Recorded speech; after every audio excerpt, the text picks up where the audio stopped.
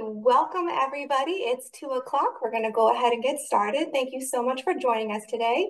My name is Julia Myers, and I'll be hosting this webinar for the Brooker Creek Preserve Environmental Education Center. We are super excited for this webinar today, Surprising Native Bees of Pinellas County. It will be presented by Ms. Liz Childress, who is the educator and outreach specialist for the Weedon Island Preserve, and she's also an insect expert, and we are really excited to see what she has in store for us. Quickly, I will just go over a little housekeeping. Um, if you have any comments throughout the presentation today, please feel free to use the chat box at the bottom of your screen. I'll be monitoring that, um, and you can communicate with me on any issues you may be having with Zoom. And if you have a question on anything um, that Liz is covering in the presentation, please put that in the Q&A box and then she will answer all of your questions at the very end. And with that, I think I'll turn it over to you, Liz, and we'll go ahead and get started. All righty. Well, again, I'm Liz Childress with Weedon Island, and I am so honored to be joining um, Brooker Creek, my colleagues at Brooker Creek for their Wednesday webinar series. And we're going to discuss um, the surprising native bees of Pinellas County and how we can appreciate our tiny wildlife. Um, this particular program is a companion piece to one that James did last week, his uh, plants and practices to pamper pollinators. And in this presentation, we're going to be learning about who our native bees are, a little bit about their lifestyles, and some about how to ID that bee, and then a little bit about how to pleasantly surprise our native bees. Uh, these bees right here are uh, there are uh, native Colletes bees, those are cellophane bees, and these are little males. They're just about the size of a rice grain, and they're just waking up. Um, they slept all night on this beautiful blazing star flower. And now we're going to get to talk to them, or talk to them. We're going to get to meet them and learn about them a little more later in the presentation. Before we go on, I just want to let you all know that um, Pinellas County is a Bee City USA. Um, that means the county is committed to providing education and signage and um, all manner of support um, for our native bees um, to make sure that we have the right habitats for them and that we promote their conservation. Alrighty, you ready to get started? Let's go. Okay, who are our native bees? Let's do a lineup and we will determine which one of these contestants are native bees. So if you would, uh, if you want, you can put your comments in the chat as we uh, determine, we're gonna go through each one one by one. And if you determine that, um, you can put your determinations in the chat um, if you think it's a native bee or not, and or just not think about it in your head. So let's get started, whoops, with contestant number one. Okay, contestant number one, is this a native bee? Give you a few seconds to think about that. We've got a yes in there.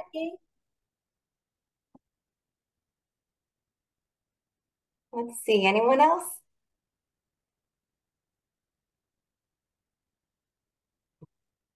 Alrighty, well, let's find out. Yes, this is a native bee.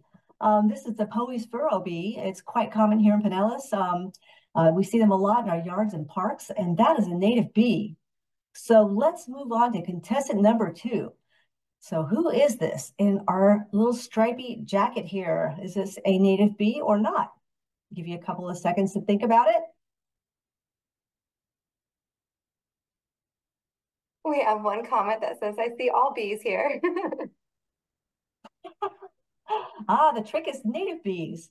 Let's find out about contestant number two. This isn't a bee. This is called a plushback fly.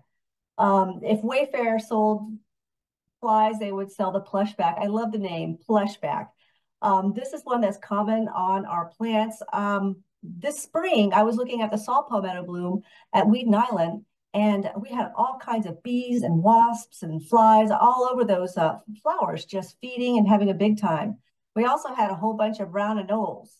And those lizards were snaffling up every little non-stripy thing they could find. And I noticed they left our plushbacks alone. So wearing a stripy jacket is a very good defense against predators. All right, let's move to contestant three. Native bee or not? Give you a few seconds.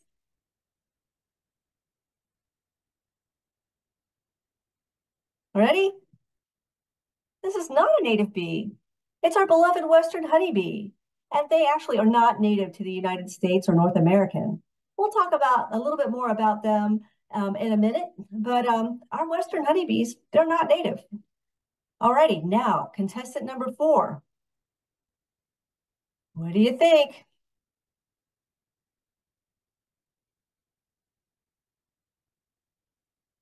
Okay, you ready? Yes, this is a native bee. This is a sharp-tailed bee. It's one of the cuckoo bees. And again, we're going to learn more about them in just a minute. Um, and they tend to not be fuzzy and hairy um, like uh, we, I used to think bees were all fuzzy and hairy. Um, they're a lot more wasp-like um, because they don't have to collect pollen because they live a cuckoo lifestyle. Again, we'll learn more about that in just a sec. Okay, so let's see where our bees fit in with the tree of life. So here we've got the tree of life, starting at the bottom with uh, single-celled organisms called protista. And we branch up here, we can see our vertebrates with mammals and birds and fish. And then if we go up here for the arthropods, we see spiders and millipedes and insects. Bees are insects. So they are arthropods and they are insects. And they are in the class Insecta. Um, you might be familiar with some of these other classes of insects uh, or orders of insects. We've got beetles and butterflies and moths, true bugs, flies, and ants, bees, and wasps, Hymenoptera.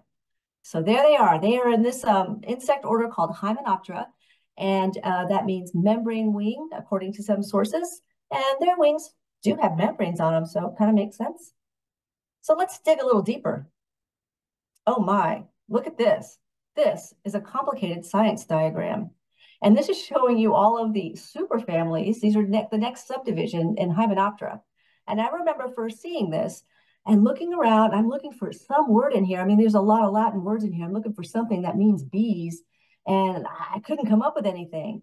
I did see this one. This is a Formicoidea, and I know ants use formic acid. Remember, I'm a bug nerd, so I know these things, but I don't see anything about bees. So what's up with the bees? Where are the bees? They're supposed to be here. They are, but they're buried. They're in this family of wasps called Apoidea. Huh. So what does that mean? Yes, mm, bees are actually vegetarian wasps. There's nothing special or different about them and the rest of the wasps. They are just vegetarian. And it's thought that they evolved from their closest genetic relatives, which are called thrips wasps. And if I have any gardeners out there, um, you're probably familiar with thrips. They are tiny, tiny little bugs that get into flower buds and wreak havoc. And uh, the thrips wasp will um, use those uh, particular thrips as food. And it's thought that perhaps ancestral bees, or these wasps, um, got to thinking, well, shoot, there's pollen in here. This is a great source of protein, and we don't have to chase it down or find it. Let's just use that. So that's one of the current theories about how bees evolved uh, to be vegetarian wasps. How about that? Okay, so we've learned that bees are just a subset of wasps. So how do you tell the difference? Remember meeting that sharp-tailed bee and it just looked like a wasp it didn't have hairs or anything. Um, as it turns out, it's kind of subtle to tell the difference between wasps and bees. Um, I was thinking that there's got to be some characteristic when you're out in the field and you're looking at a bunch of things buzzing around on some flowers, you can easily tell. Sometimes you really can't. Um, the way to tell has to do with their legs. And this is the last, the little last segment of their leg. It's called a tarsus. It's kind of like the long part of our foot. There's a segment right here, the first segment of the tarsus that on bees is longer and maybe a little wider than it is on wasps. See how similar these insects look? This one's got kind of a, just a regular little um, section right here. And this one, the bee, has a kind of a long section right there of the first part of its lower leg. Also, if we look down here, bees have hairs that have little bristles on them. And wasps have smooth hairs. This is a close-up picture of bee hairs right here. And I got to thinking about this. I was looking at these pictures saying, how am I going to see this in the field when I'm out looking at, again, these things buzzing around? The answer is I'm really not. So there's going to be a little bit of guesswork when it comes to telling bees and wasps apart. Um, most of the time, you can kind of figure it out with uh, the bees are markedly hairier, but now you kind of know the secret that they're not all like that. Okay, now we learned in our lineup that honeybees aren't native bees. Well, how can that be? We hear about saving the bees. Well, honeybees, as we all know, are vitally important to our food sources. Um, we got to do everything we can to help them. They are not native to North America, they're native to Europe, and they're really considered livestock, um, kind of like chickens and cows and all that. Um, honeybees, again, have experienced some problems, and that is not good news for us. However, there's been progress made on many fronts um, and working with honeybees. Um, they honeybees have an advocacy, advocacy organization called Agriculture that is actively working to figure out how to keep them safe and keep them producing and all that good stuff. Um, so honeybees have their own built-in um, advocacy advocacy group, and they also have their own built-in PR firm. Our native bees really don't have that, so that kind of falls on us to be advocates for our native bees. So I hope you understand a little bit more about the honeybees and the native bees. Oh, and by the way, honeybees, have y'all tried palmetto honey? That's my favorite kind of honey. I love it when it comes out. Um, it's buttery and wonderful. And if you ever see some, uh, give it a try. It's good. Okay, now let's talk a little bit about the lifestyles of the tiny and buzzy of our little bees. Alrighty, here is their life cycle Bees and wasps undergo complete metamorphosis like butterflies. Um, they go from an egg to a little larva to a pupa, and then an adult that looks nothing like the first life stages, um, just like butterflies. Um, but what is different about butterflies and moths, actually the moths that include butterflies, is that mama bee almost always provisions food for her babies and makes sure they have something to eat when they're larvae.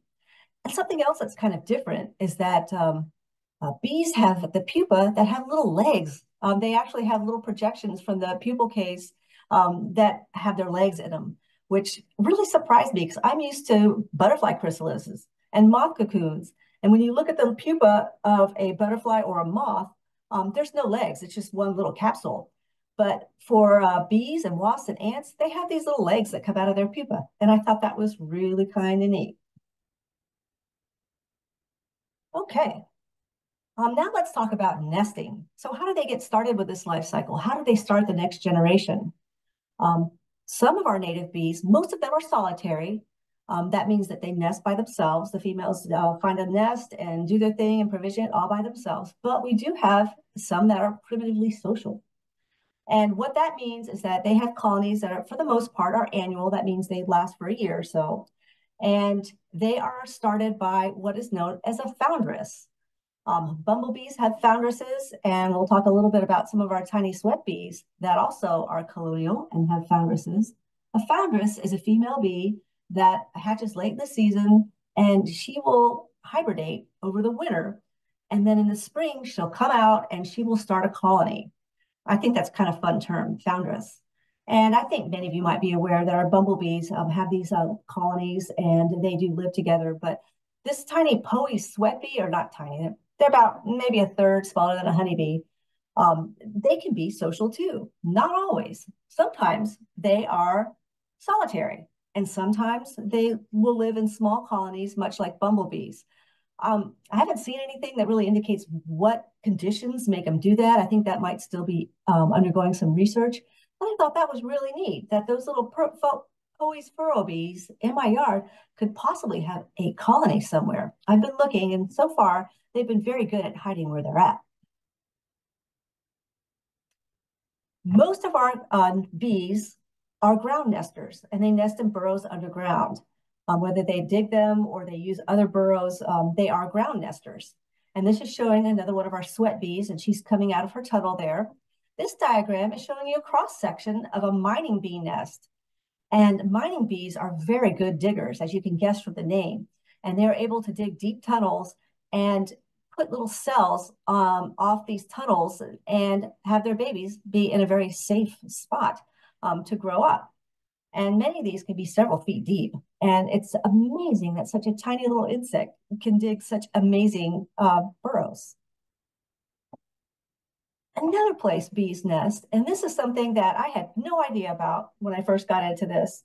Um, they nest in stems. How about that? This is a small carpenter bee, a Ceratina bee. And you can see her at the end of a stem and it looks hollow. Um, bees that nest in stems pick certain plants that have pith in the middle of them. Um, that's a soft sub substance that they can dig through. They'll find um, stems that have been broken off or burnt and get into those and dig out the pith. If you look at this diagram here, what a bee that's been hatched out in the late summer will do is uh, she will find a suitable stem and she'll dig herself a little place, a little cell where she can hibernate over the winter. And then when it's the right time to come out, she will dig that cell down deeper and start building cells for her young. And you can see we've got, um, this is showing a pollen ball that she's put in there. We'll talk more about those uh, later. And then like the little larva. This is the oldest bee here and then the next oldest, and so on and so on. And I got to thinking about this with them, them nesting in, in stems, and I thought, hmm, how did they get out? And I just said, well, gosh, it's anyone knows they probably just chew a hole and leave, yay! But they don't. This particular kind of bee, um, the first one that hatches, of course, is the oldest one. And what this oldest bee will do is go up to this little cap right here and chew through it and kind of chew the whole thing up and push it down to the bottom of the burrow and then move the pupa or the bee down here, and then it'll go up here and do the same, move everything down, go up here, do the same, move it down, and then it will rest at the top and wait for everybody to turn into their final forms, and then they will all leave together. That's pretty amazing. I cannot believe these little bees do that. And the um, account of their nesting that I was reading says it takes about eight days for this um, oldest bee to make her way or his way up to the top. And all while this is going on, uh, the study was saying that the female bee will stay, that original mother bee will stay up here and do her best to guard her babies. So how about that for parental care? I love it. All right, next. Um, you can see what's going on here. This, surprisingly, is a leafcutter bee, and she's busy cutting a little section out of a leaf. Do you remember, you've probably seen this in your garden. I remember seeing like perfect half circles out of leaves. And I was just thinking, gosh, those are really neat caterpillars. Um, but they're not. Those holes were made by these little bees. And they were using them to carry to a nest site and build a little lining in a hole in wood or under bark so they can have a tunnel to put their babies in. This is showing one of these tunnels with a cap of a leaf. And this is showing how the tunnel looks if you were to take it out of the, um, of, of the hole. It's all those leaves that she gets when she is doing her clipping. She rolls them in a ball, and inside here will be several cells of her babies. And so I have learned as a gardener to really, I'm fine and actually honored when I see the little half round holes in my garden's plants, because that means that we have leafcutter bees, mama leafcutter bees, busy doing their thing. So I hope that that can happen for you too.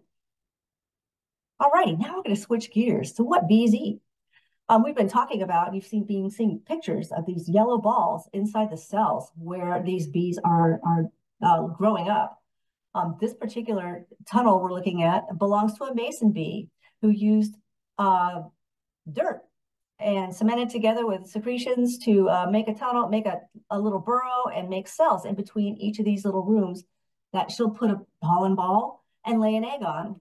And she knows exactly how much pollen she's got to carry and get and she also mixes it with some saliva and some other stuff to make sure that it's it's good for the babies. Baby um, has a little bit of antimicrobial properties so that the baby will have something really nice to eat as it gets ready to turn into a pupa. But they provision their cells with these pollen balls. And that's why our bees are out gathering so much pollen and why they're they're good pollinators. They just have to do that to continue on with the next generation.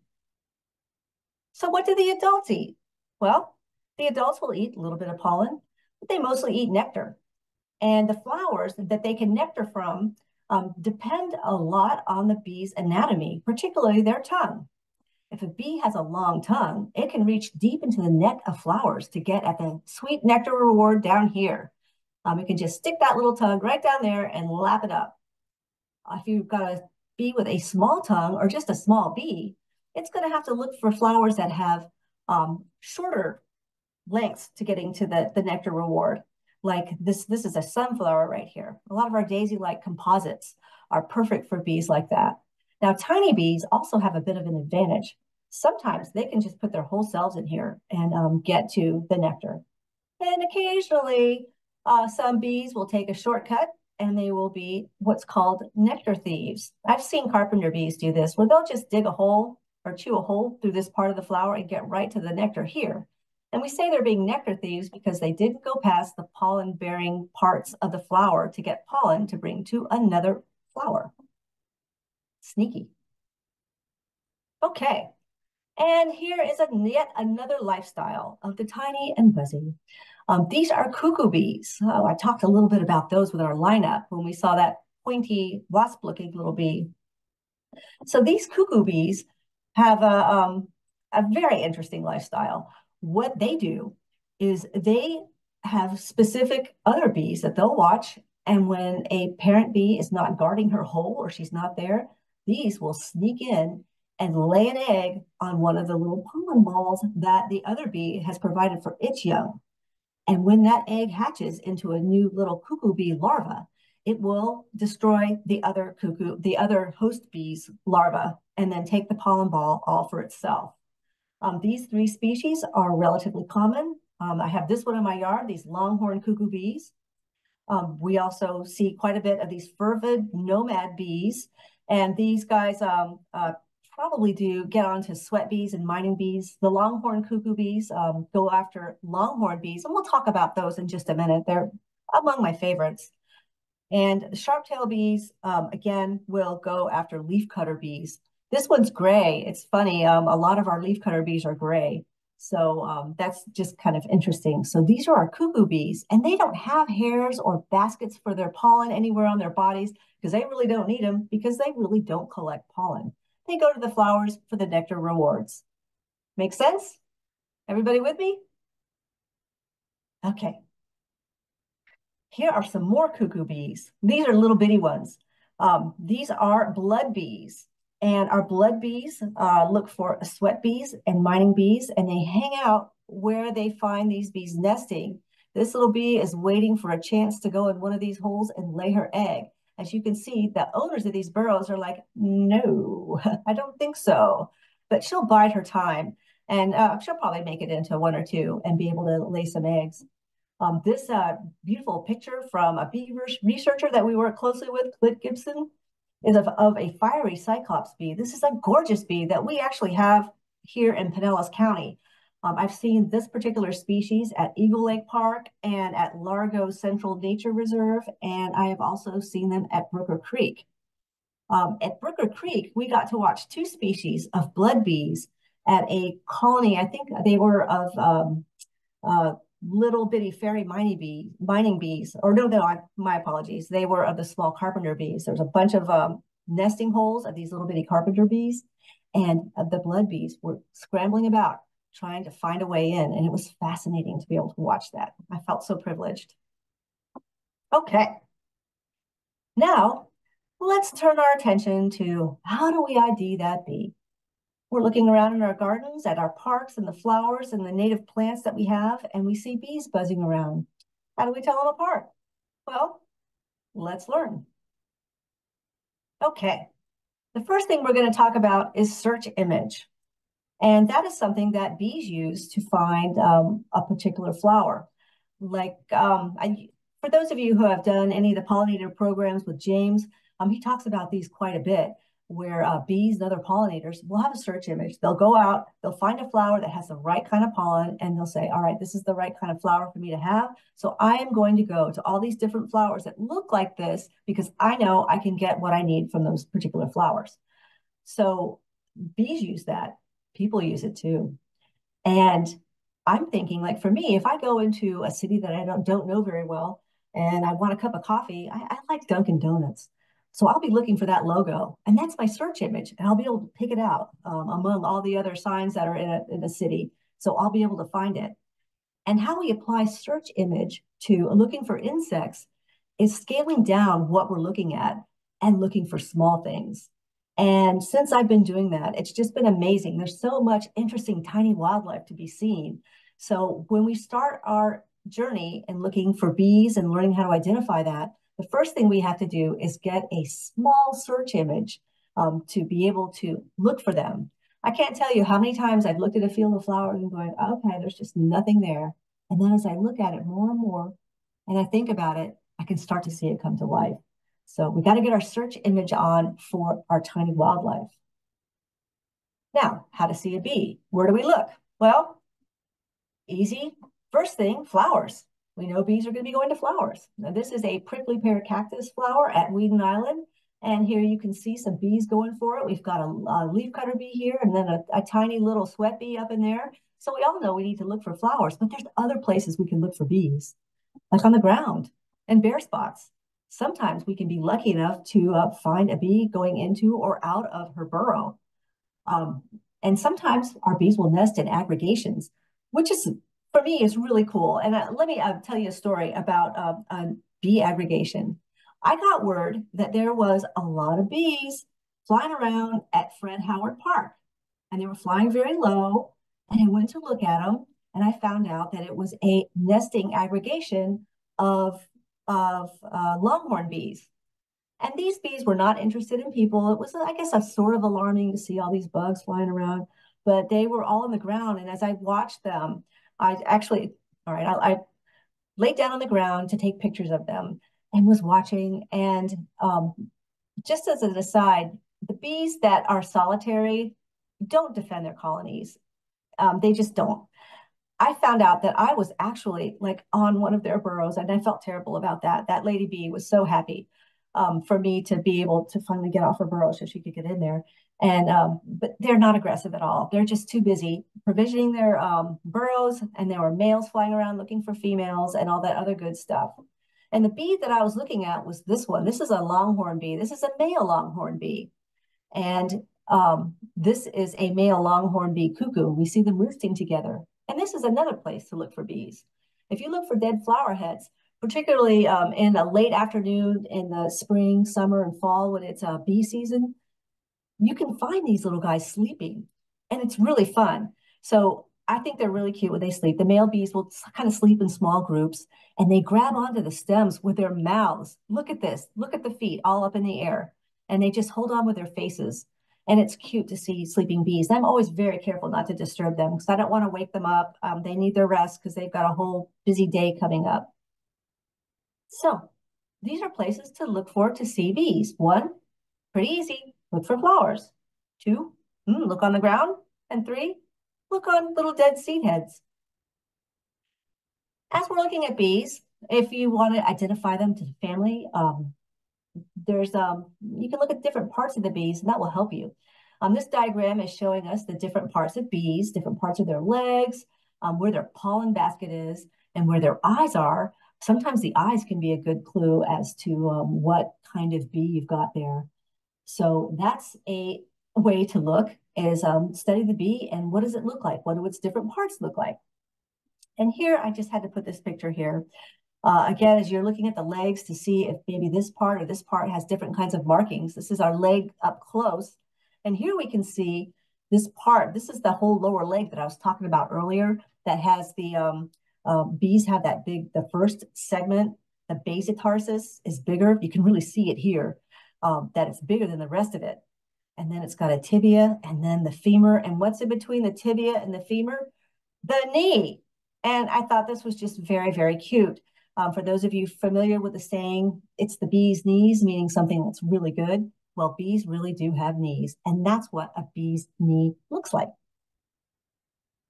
Okay, now identifying bees to the species. I don't know if we have any birders out there, but I'm a birder and I very much enjoy looking at birds and um, if I have a good photograph and um, some guidebooks and online resources and maybe um, consulting the uh, What's That Bird Facebook group, I can pretty much figure out what species of bird I have. So I came into looking at bees thinking, well, I probably with pictures and, and maybe a little bit of help, I can figure out what species it is.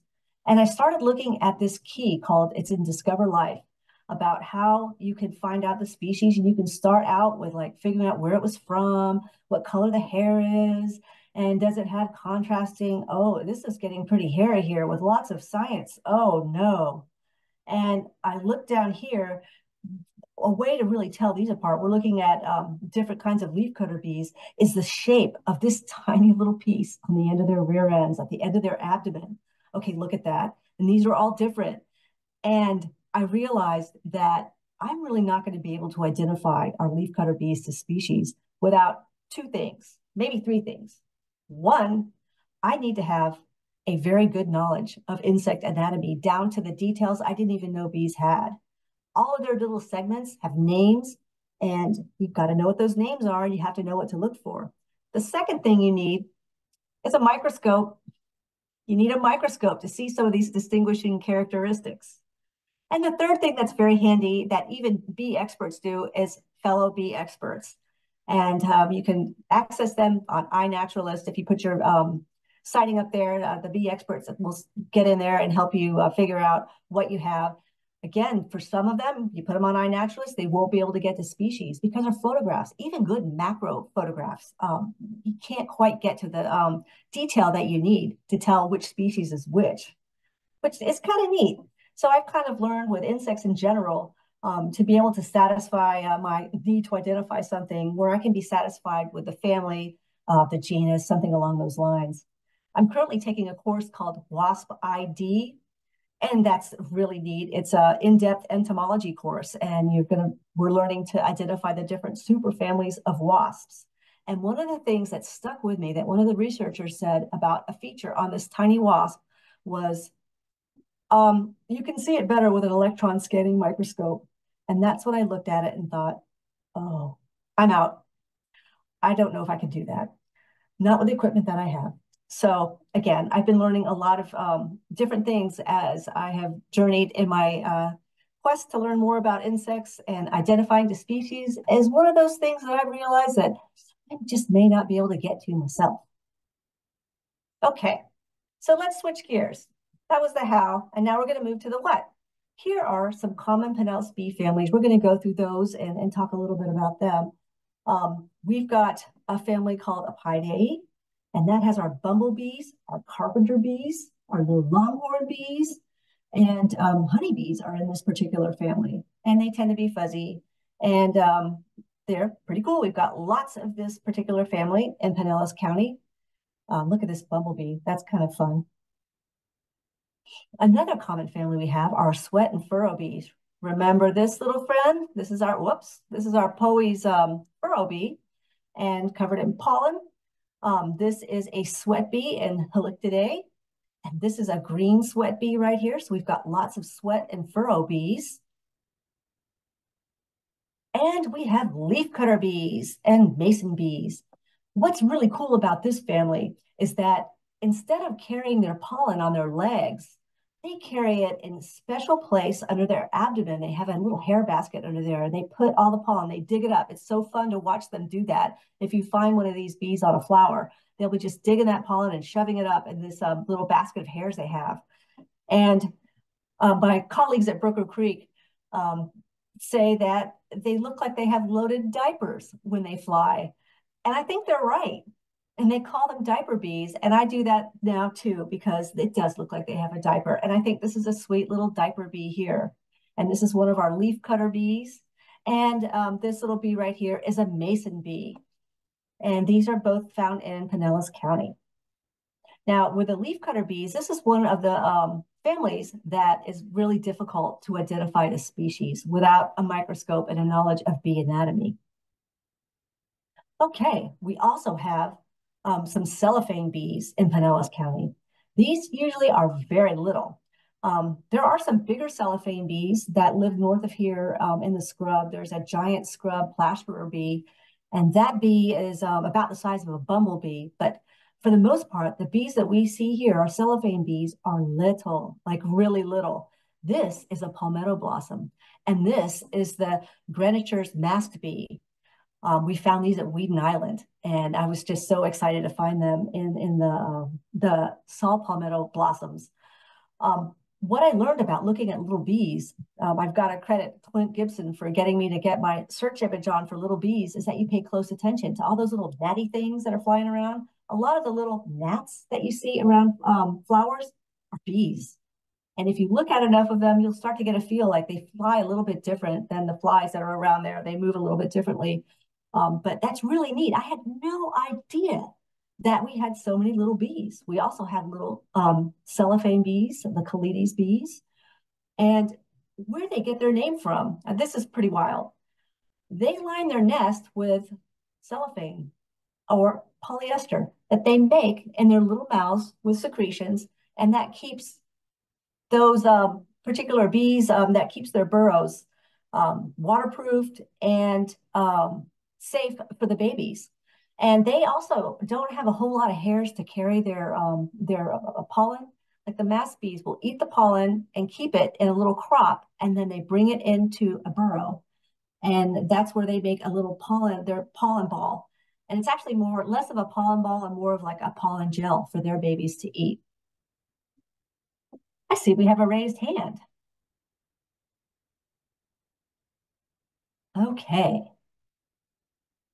All right. Well, anyway, let's keep going. Another um, bee family have in Pinellas is our fairy bees, um, our mining bees. We have fairy bees and then we have mining bees. Again, these particular bees, mining bees can be quite big, but the ones that we have in Pinellas are small. These are the bees that we learned about earlier that make these extensive tunnels that they keep their um, that they use to um, uh, keep their babies safe while the babies grow up underground and they can be several feet deep, several feet deep. Um, this particular kind of a mining bee is called a fairy bee, and it is in the genus Perdita. And we have those, they can be common in certain areas where the soil is just right for them.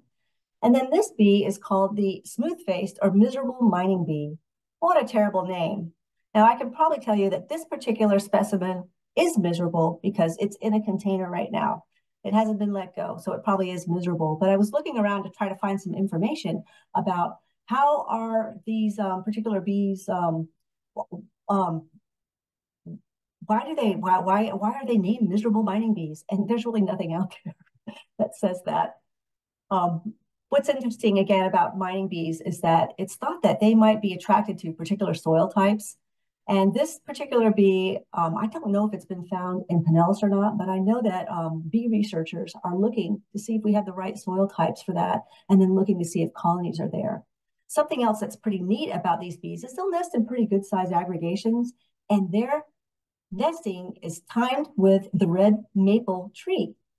And they are dependent on the bloom of the red maple. And our red maples are blooming about now. Some of them are in full flower, and some of them are even past at this point.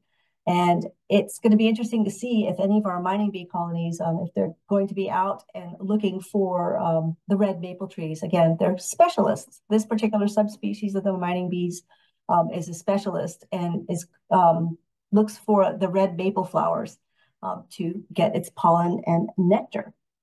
Really interesting, the connection between the blooming of the maple tree and the emergence of the bees. One of the concerns we have with climate change is that as things change and plants change their blooming times, is the concern will bees that depend on certain species of plants change their emergence time. So it'd be awful if these bees came out and the maples were either done or hadn't started yet. They wouldn't have anything to eat and they wouldn't have anything to feed their babies. So there's our mining bees. And the ones we have most of the ones we have here are little. Okay, now let's look at bees group, um, by, um, group by size. Medium-sized bees, about the size of a honeybee. Um, one of our most common, next to our Poey's furrow bee, is the brown wing striped sweat bees. This is the female right here, and she is all green. And here's the male, and he is green here, and he's got a beautiful yellow and black striped abdomen. For years, I thought they were different kinds of bees. And I finally found out it's the male and the female, and they look quite different. And that's not at all unusual um, with bees and wasps, that the, the gender, the sexes will look very much different. I bet you've seen these, particularly in an urban area. Just about any green bee that is about the size of a honeybee is probably going to be this species. Um, in Pinellas County, we have some very small green ones, and I've never seen one in my yard or in, um, I've seen them in less developed wooded places, but I have not really seen them in the, in like uh, developed suburbs and yards yet. I'm working on my yard with native plants, so maybe I'll get some. Okay, some more medium-sized bees. This is our Poey's furrow bee, again, that we've met several times. And here's a great picture of the leafcutter bee. And look at that loaded diaper of pollen. Again, these are the bees um, that they cut those little half moon circles out of leaves and line their those their nesting tunnels with those be um, with those leaves. And so they um, are, are pretty common. I've got them all over my yard. Um, they're hard to identify the species without, again, some specialized knowledge and a microscope. And I like this close-up of the face of these um, this female Poey's um, furrow bee. Look at the mandibles that she has. These are good for digging out. And they might also be kind of good for defense too. I remember I got to hold a male bee when I was out with um, with uh, Clint, and he was doing some research on a certain kind of bee, and I was able to hold a male bee. And you wonder how could I hold a male bee? Well, male bees can't sting because the stinger is a modified ovipositor. They just can't do it because they don't lay eggs. Well, anyway, this little bee that I had in my hand had a nice little set of mandibles and he was just trying to bite me and it wasn't making any difference. But I don't blame him because I'm huge and he was so small and he didn't know I was going to let him go. But that's kind of neat. Look what she can do. She can kind of dig around and burrow and maybe defend her burrow if she needs to. More medium-sized bees. These are our longhorn bees. Um, this is the kind that occasionally will nest in large aggregations like the one at Fred Howard Park. Howard Park. They are fuzzy and classically bee looking. Look at this big pollen basket on this lady right here. Um, our our longhorn bees are kind of hard to identify to species, so I kind of leave that to the experts. Um, so I know I've got longhorn bees. This is a male and he's roosting and see how he's clamped on with his face. Yep, he's sort of holding on maybe a little with his forelegs, but the other legs are just kind of hanging out there. And he's just clamped on right there with his face. So these are our longhorn bees, and they are very cute and lots of fun to watch as they go around in flowers. Okay, let's talk about big bees. Here's some big bees that we have. We have southern carpenter bees, eastern carpenter bees, and bumblebees. So how do we tell the difference? Well, let's start with our carpenter bees. Carpenter bees are um, have shiny abdomens. They are not quite as furry as bumblebees. And this was really hard um, for me to quite understand in the beginning. I remember in Dallas, I chased after carpenter bees a whole bunch of times, thinking they were bumblebees until I finally realized, oh no, they're shiny. It's carpenter bees, not bumblebees, but it was still neat to see them. So that's the first thing you look for to tell carpenter and bumblebees apart. Fuzzy bottom, not so fuzzy bottom. And we've got two, well, at least two species of large carpenter bees here.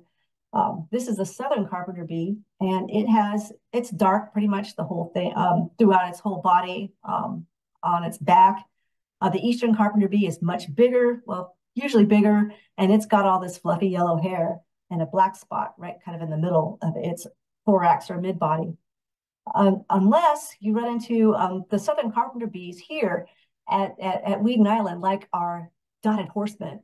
And when they get in there, there's little pollen, um, the anthers are up here on the top of the flower and they get covered in pollen. So everybody's yellow. So you really can't tell. You just kind of use size as a guideline, but it's just really fun to see all the bees just wallowing around and our dotted horsemint going after it. And we also, um, at Weedon and at Brooker, and you have all of these at Brooker, um, we have uh, bumblebees. Um, Brooker has at least three species of bumblebees. You get um, American bumblebee, and then there's two bumblebees that are a little bit smaller that you can see as well. So those are some big bees that we have. And we also have um, something that, another feature of carpenter bees are the males. Now, male carpenter bees have these great big green eyes. Look at the eyes on this thing. They almost come together like a fly on top. When I first saw them, I couldn't understand what I was seeing. This light colored bee and big green eyes, what in the world? But I was looking at male carpenter bees. This is a male southern carpenter bee. And this bee is another kind of carpenter bee that's been appearing in Florida. And it is a, I guess, a tropical carpenter bee. Um, they're from the subgenus Neoxylocopa, which is a fun word to say. And they're really big. They're bigger than the southern carpenter bees. Like they're huge. And this is the male, and he is just a yellow teddy bear. And when you see one in your yard or in a park by passion flower, it's just amazing. It's just a big, giant yellow thing. It's as big, it looks like it's as big as a honey uh, hum hummingbird. The females are really big too. They're just great big black things. And when one comes into the yard or gets near you in a park, you know it. A concern folks have sometimes about carpenter bees is that carpenter bees will sometimes try to nest in the wood on our houses. And um, that's true, they do. But what the carpenter bees are doing is they're creating a nest. They are not eating the wood, they're making a tunnel. In big numbers, it's true, yes, they could probably do some damage. But in smaller numbers, they really don't. Um, I had lots of them in my house in Atlanta. We had a wooden deck that was, we had lots of them. And it was so fun to watch them. The males would come up to us and just look at us and kind of threaten us almost like, this is my space. You need to get out of here. And uh, it was just lots of fun to watch them. And we let them be because we didn't think they were doing any damage to our house. So if at all possible, if you do find these on a fence post or someplace, um, see if you could let them be. Again, they're not going to be eating your house or eating your deck. They're just simply making a nesting tunnel and they'll reuse those tunnels um, year to year. Subsequent generations will get in there and use them.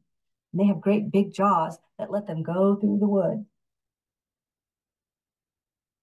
And, okay, when we look at who is in Pinellas, yes, we have tiny ones as we talked about. We've talked about our blood bees right here, and then we have these small sweat bees. Uh, we had our prickly pear cactuses blooming both at uh, Brooker and Weedon. And in the prickly pear, prickly pear cactus blossoms, because I had trained myself to look for tiny things, I found these little bitty sweat bees. And these are Lasioglossum sweat bees, really hard to identify the species. Particularly from this picture, you can tell this is one of mine, and that's just how it is. Um, but they're just little bitty delights. And again, it's uh, something to remind yourself when you're looking at bees and looking at flowers, uh, think small, because you might be surprised at, at what you can find. Okay, now, as we start to wrap up, we're going to go over um, some things that we can do to help our native bees. First of all, we got to know the threats to native bees. And again, we're not talking about honeybees because they have their own different sets of challenges and they have their own industry that's helping them. Um, the threats to our native bees, the biggest one really is um, land use and development. What our native bees need is habitat um, where they can get to their plants that they've evolved with, the native flowers, um, where they have places to nest. Remember, 70% of our bees nest in the ground. They need a little bit of open space um, to do those nesting things for them. Um, we also talked about how if a species of bee depends on one kind of flower for use, that um, if climate change changes blooming time, they may not have a flower source if they come out at the wrong time. Now, there is some evidence that bees, if they are, um, they really like one kind of flower and it's not around, they can maybe transition to another one, but they probably don't raise as many young. It's probably not that good for them. So um, this could be a significant problem for our bees as um, with climate change. And another issue that they face is invasive and exotic species. Um, some invasive plants can um, crowd out the native species that they've co-evolved with to where they don't have the high quality food sources they need to be successful and to really thrive. So that is something that threatens them.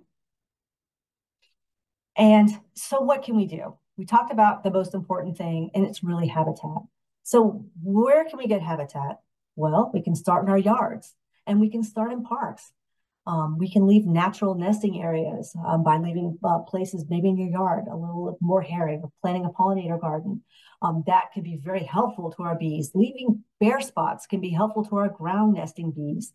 Pine straw is a good mulch for that because it does tend to have little bare spots that the bees can crawl through.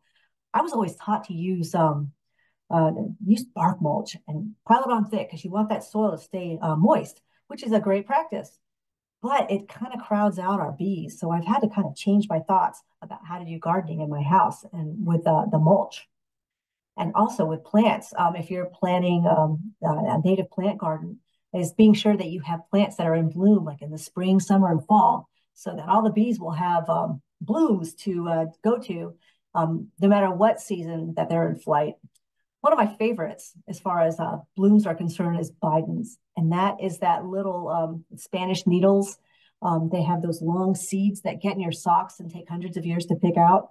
Um, those things are in bloom almost year round and they attract all kinds of bees. And I've let a little patch of my yard uh, kind of grow up with the um, the Spanish needles, and I've been so happy with it. I've seen the neatest bees. I've even gotten some really great pictures of sleeping bees on them. And then, of course, as you can imagine, bees are insects. And with our yards, uh, the judicious use of pesticides is um, something to really, really consider, um, and being more tolerant maybe of uh, chewed leaves or um, things like that um, because pesticides that you may be using to kill one kind of a bug that's doing something may also get our bees as well, particularly if you're spraying flowers. So it's something to consider. We all have to make the right decisions for ourselves and for our yards. Something else we can do is called a soft landing. And that's leaving your leaves under the trees instead of raking them away. And that provides nesting habitat, um, that will provide places for our uh, foundress bees to hide in the wintertime so that they can emerge and uh, start new generations. Um, if you leave some sticks there, maybe it'll provide a nesting spot for your um, leafcutter bees. And it also is a great spot for all the caterpillars, particularly under oak trees that live there. They can come to the ground and then they can get in the leaves and they can also pupate and become out as the moths and butterflies that they were designed to do, to be, the bee, bee hotels. Those have gotten really popular lately. And are they a good idea? Are they not a good idea? Well, they're kind of neat to have in the yard because you can see them and you can see bees or mason wasps going in and out. It's fascinating. And I have um, I have a bee hotel and I've had it for many years and um, it gets mason wasps in it and I look forward to them hatching every time. Unfortunately, the bee hotel that I have I'm, is not a good one. I can't get the little tubes out if you're going to put a bee hotel up, you want to be sure you get one where you can take the little nesting tubes out and clean them. And even if their nesting tubes are capped and they have a bee or something inside, you can put them in a little box like this. This is an emergence box. And you can take that tube, put it there, and then put new tubes in here and kind of clean out the little spots so that the, um, the bees will have a clean place to stay. With a bee hotel, they do require maintenance. Um, it is concentrating a lot of bees um, that may not necessarily nest close together in a small area. And that is makes it really a fun time for parasites and fungus and predators. So we have to be responsible owners of our bee hotels. That makes sense? Okay, well, as we begin to uh, get wrap up, here's some bee cuteness. There's nothing cuter than bee rear ends. And we've got a nesting bee. See, she's going down into her nesting hole here. And here are some fun leafcutter bees going into the cactus plants. Again, when the prick prickly pear blooms, if you want to see lots of cuteness with bee bums, definitely check out the prickly pear. This one has done a face plant, and that is just, I just think that's so cute. And here's some more cuteness. Here are two longhorn bees. These are two males and they're sleeping. And look at their antennas. They're kind of keeping track of each other. They're holding on with their mouths and they're sound fast asleep. And they're on one of those dead flower head stems that I was telling you about earlier that are kind of good to keep up. So those are some sleeping longhorn bees, males. All righty, it's time for questions. All righty, let's do some questions. That was wonderful, Liz. Thank you so much. And the bee cuteness at the end was so good. Who can um, resist? It was so good. We do have a few questions, and if anyone else has any questions, now is the time to put them in the chat or in the Q&A. I'm also going to launch a quick poll if you don't mind helping us answer three simple questions so that we can take your feedback and keep making better programs. So our first question is, what is the function of the simple eye versus the compound eye? That's a great question. Um, the compound eyes are made up of a bunch of different little pieces, little eye cells called ommatidia, and they help uh, bees see detail. The compound eyes on the top are really good at detecting kind of light and dark and simple light changes, and they will help the bees detect um, predators. If you look at, um, there's actually, I don't know if we have any in North America, I know there's some in South America, and certainly that we have some nocturnal wasps. If you look at nocturnal bugs, um, they're um, uh, the little ocelli on the top of their heads will tend to be a little bit bigger, but they will help detect light and dark and give the bee just one more way to evade predators and live a happy, healthy life. Awesome, thank you. And then what is the average life cycles of bees? Well, that kind of depends on the species. That's a very good question. Um, many will live a couple of months um, when, when they're out. The males tend to have shorter lifespans than the females do um, as adults. Um, the males will be around uh, for a couple of weeks and then gradually they will just, you know, die off. The females have to stay alive to do their colonies. Um, many of our bees will overwinter as pupae, so you could say that they live for the biggest part of a year. If they are overwintering as a pupa or an adult, they come out in the following spring. So it's really kind of hard to say. I would say a couple of months is probably on average for the flight time of a female bee. I hope that I answered the question. Wonderful, thank you. And is there, as far as the bee houses, is there um, a better direction when you're setting them up? Should they point a certain way or be in a certain certain area of the yard? Um, I've heard that facing them south is a good way um, to do. Um, so I think it's probably best. There's lots of great resources that will tell you how to do your bee, um, your bee hotel and your bee house.